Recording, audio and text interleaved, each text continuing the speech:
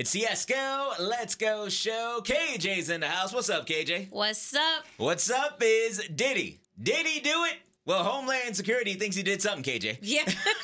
yes, you know, he was raided Monday. Two of his houses, one in Miami, uh, the other one in Los Angeles. Uh, he was raided. Now, what exactly was Homeland Security looking for? Well, they were searching for documents, phones, computers, and other electronic devices that hold data or videos. According to CNN, these searches were all related to an ongoing sex trafficking investigation. Now we know his sons Justin and King, we saw them on video, uh, placed in handcuffs and detained. They were later released, and uh, TMZ reports that they went back to the LA home uh, to grab all their stuff, and they got the hell out of there. KJ. Oh, I would have did the same thing.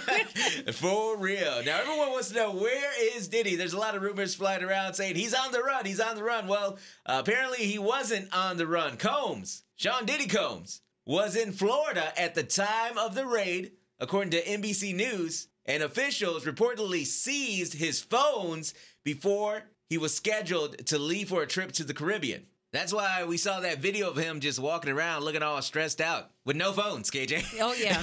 no phones.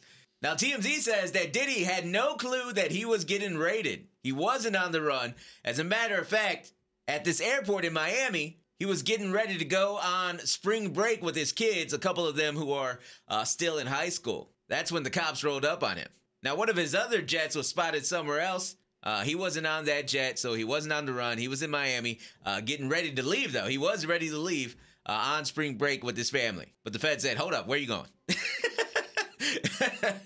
but that's not all. Apparently, at the same airport, Diddy's alleged drug mule was arrested around the same time that the raids were going down. A 25 year old man by the name of Brendan Paul was arrested Monday on cocaine and marijuana possession charges at the same airport as Diddy. Uh, police say they were working alongside Homeland Security agents when the arrest was made. Brendan Paul was recently named in a lawsuit filed by music producer Rodney Lil Rod Jones against Combs, and Jones accused Paul of being Combs' mule, allegedly acquiring and distributing Mr. Combs' drugs and guns. Lil Rod Jones claims he witnessed Paul acquire and distribute drugs to Combs and his associates. Members of the enterprise and their associates procured, transported, and distributed ecstasy, cocaine, GHB, ketamine, marijuana, mushrooms, and Tusi by packing these substances in their carry on luggage and going through TSA. Oh, this is getting way worse, KJ. this is getting way So worse. bad. This is getting way worse. Uh, Tusi, by the way, if you don't know what that is, that's uh, known as pink cocaine. It is a powder mix of ketamine, MDMA, and caffeine. So, jeez, what is going on at, at these houses? Allegedly, KJ. A little too much. A little too much. a little Tusi much. Right. The drugs and stuff, that also uh, makes sense why Rolling Stone reported that four Jane Does and one John Doe already sat for interviews with the Southern District of New York investigators for an investigation related to uh, what we know, the alleged sex trafficking, but they also say a RICO case. And if you think about like the four Jane Does, Diddy was sued by four women, and the one John Doe, he was sued by uh, Lil Rod Jones, KJ. So we kind of know who who who they who they interviewed, right? Right. Allegedly. This is the people. We don't know for sure, but I'm just taking a wild guess. Uh, somebody else that was named in Lil Rod's lawsuit, Prince Harry, got name dropped in Rodney Lil Rod Jones court documents that were filed last month. According to page six, uh, the document said that guests were drawn to Diddy's alleged sex trafficking parties due to the rapper's access to celebrities such as famous athletes, political figures, artists, musicians, and international dignitaries like British royal Prince Harry. Now, Prince Harry is not a defendant, nor has he been accused of criminality, but he is named in this lawsuit, which is wild. Another familiar name that was uh, found in this lawsuit by uh, Lil Rod, Cuba Gooding Jr. Producer Lil Rod has added Cuba Gooding Jr. to his sexual assault lawsuit against Diddy, claiming the actor aggressively fondled him.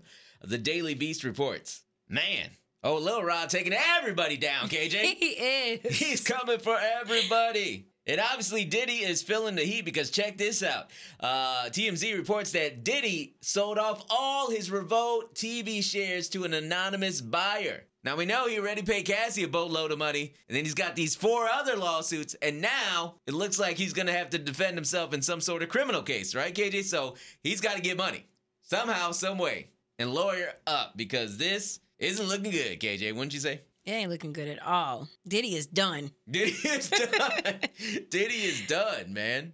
And according to Rolling Stone, they talked to a former federal prosecutor who said the Southern District of New York is one of the most prestigious in the country. If they're bringing a case against him, Diddy has a lot to worry about. He is in a world of hurt right now. So we said it a long time ago when that uh, first Cassie lawsuit came out, KJ, we're like, yo, this has got to be only the beginning because everybody's going to start coming out. But we didn't know it was going to lead to this, you know? Sex trafficking, a RICO case, homes getting raided, kids getting put in handcuffs. I mean, what's going to happen next? I'm scared to find out, man.